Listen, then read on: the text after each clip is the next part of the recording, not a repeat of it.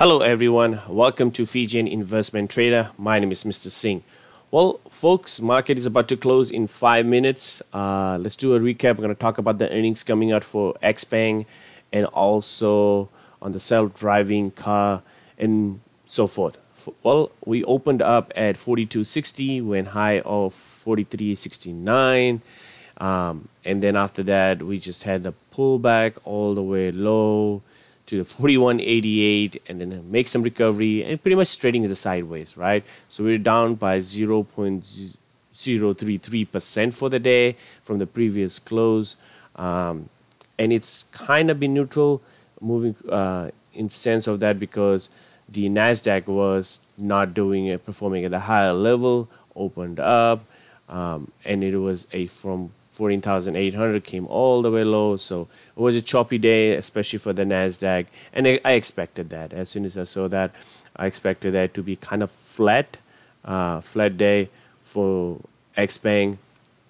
And right now we are about four minutes left for market to close. Kind of some recovery. I hope to see it go close over 40, 42.50 but we'll see if it's possible or not because the whole day we've been trading below our moving average, the 200 day, the 60 day yellow line, and even the WAP line uh, even came close to that. So uh, let's talk about the uh, news uh, about the earnings, what are we looking at, and also uh, the self driving. And then we'll later talk about the technical analysis on the video too. So XPeng report the earnings of August 6. We know news is tomorrow.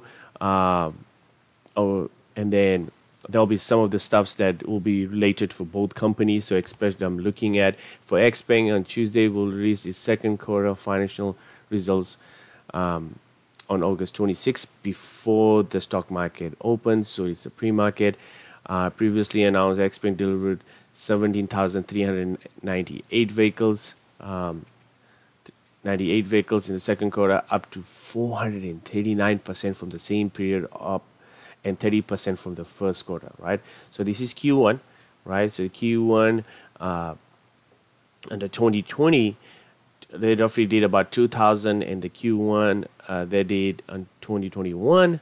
This year about 13,340 vehicles. Q2 they roughly did um, about in 2020 it was 3228 and 17389 folks that's a huge number huge spike from the first quarter to the second quarter.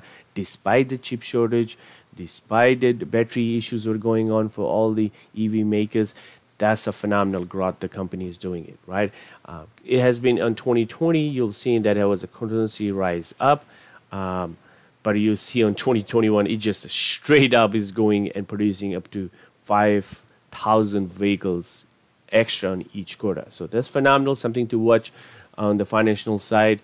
Um, also if you, can dial in if you want to uh, uh, there's the numbers you can dial in for the first conference if you have it. Also in addition for the live uh, participants are dialed in five minutes before the start of the conference call. Also replay of the conference call will be done on the September 2nd, 2021 by the phone numbers. So definitely, if you missed it, you definitely can revisit it. And but I will also show the uh, give you guys the breakdown of the financial that I'm looking at for XPeng and where they're at right now. Right, this is huge. You'll see a lot of rally during the market time, during the earnings. Just have to be gotta be careful. Uh, how it plays out on that, right? For the long run, definitely love this company. Uh, one of the top two companies in China, NIO and XPeng, uh, producing at the highest level of EV vehicles. We know they're already in Norway, they started the operation. So the video shows the XPeng testing P5 self-driving capabilities on the city road. Uh, XPeng Motors recently tested LiDAR equipped P5 model uh, navigation guided pilot that's NGP self-driving capabilities on the street, city streets according to the video posted. P5 is capable of automated changing lanes, recognizing traffic lights, making automatic left turns at the unprotected intersection as shown in the 30 seconds of the video, right? Unfortunately, I wasn't able to play the video, but this is the inside look of the um, XPeng vehicle uh, P5. I love it. I love it because this company is growing at a rapid pace um, and are delivering the numbers as, they promised. Well, let's talk about the six months, then we'll go back to our year to date and what we're looking at time and time. Uh, you'll see our 200 day moving average is right here, the year, right, sitting at $40.21. The 60 day moving average is sitting at 60, sorry, $41.65, right? Came low for the day, close to, but never came to the 60 day and the year to date and the 20 day is sitting roughly at $42.40 right now which we are trading below. So everything is pointing towards another breakout pattern coming right to go test of high 44.66 and 46.89 um, also i want to share with you guys that xpeng was always far from NIO in terms of the stock price right? They were at least like seven eight dollars behind. They are catching up folks. NIO is 44 uh, dollars and 23 cents xpeng is $42.32 and they are growing at a rapid pace. I'm excited. I'm excited uh, about both those two companies and how quickly, if you see, it was from $22, right, to 73 cents, they went higher 47.96 after we had on the year to date, which we're going to go right now, was all-time high was $74.60 49 cents and we've been where everything at all the EV sectors got uh, got destroyed pretty much came at the 27 level uh, at the level of $25 level and even the low of 22.40 right? So now we are making a road of recovery. We'll see that time and time the 44.66 got rejected numerous times right?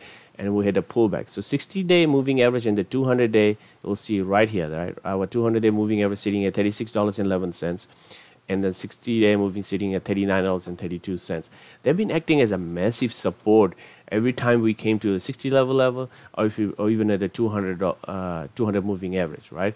And as mentioned in the previous video time and time we'll see in uh, trading in between this pattern in order to have a breakout.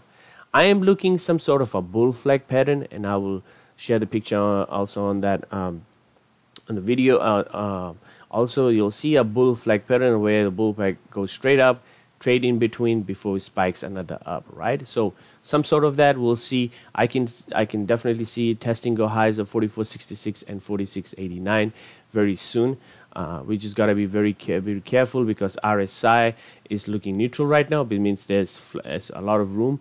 MACD, you know, everything is pointing towards an uptrend, right?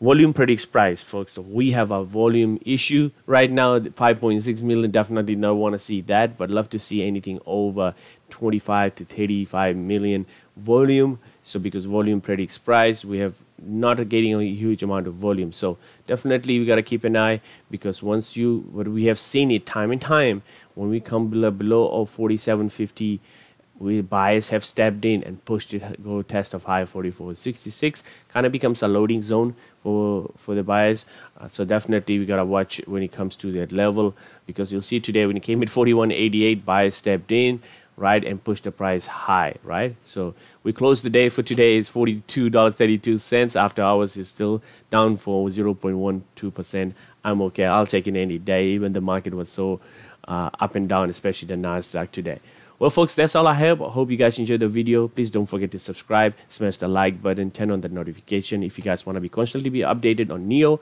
Xpeng, or any other stocks that I cover on my on my channel. Uh, please comment down below if you guys have any question. Love to hear you guys' thought on that. Uh, really appreciate you guys watching it and good luck on the rest of the week of trading. Thank you.